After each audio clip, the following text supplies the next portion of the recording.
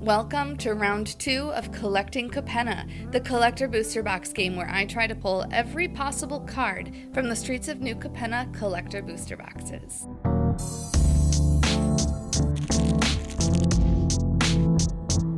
Welcome to Packs of Paradise, a YouTube channel all about cracking packs of magic cards. Today we are diving right into round two of collecting Capenna to see how far we can build off of round one. If you haven't seen round one yet, you can find a link to the playlist in the description of this video and at the end of the video as well. Last week, I pulled 172 unique card numbers from my first collector booster box of Streets of New Capenna. Since there are just over 600 total cards that can be pulled from collector booster boxes, that means I've pulled 28% of the set just in round one. And of course, my goal for collecting Capenna is in addition to pulling all of my Paradise picks, the cards I've picked across five categories that, if nothing else, I'm really hoping to get from these boxes of Streets of New Capenna. The categories are the prettiest, the cards that take my breath away when I first see them, the funniest, the cards that make me laugh out loud literally every time I pull them, the most flavorful, where the design of the card comes together so well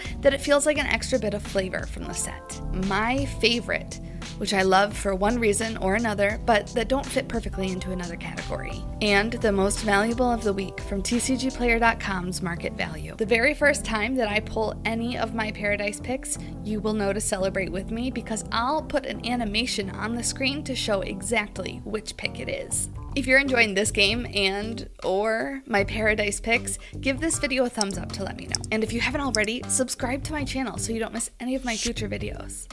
And now it's time to start playing Collecting Capenna. So let's dive in, let's crack some packs.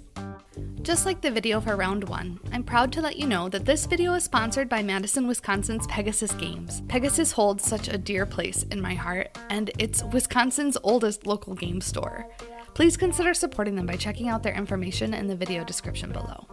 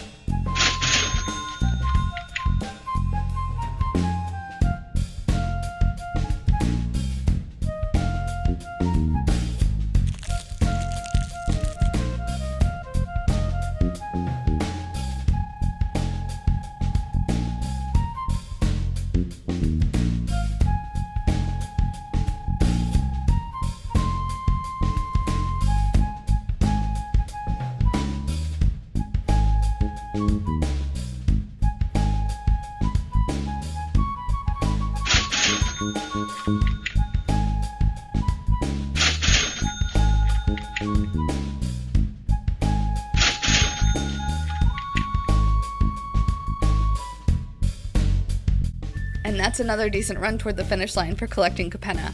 I'm still shaking with excitement from pulling Cut Your Losses. That means I, first of all, get to play that card now. And second of all, I'm almost done with my favorite Paradise picks. So overall, today I pulled another 107 cards in addition to what I pulled last time. That means after only two rounds of collecting Capenna, I've pulled 46% of the set. I'm really hopeful that we're gonna get there. Thank you so much for playing another round with me. I'll be back with round three. I can't wait to see what it has in store for us. I'll see you soon.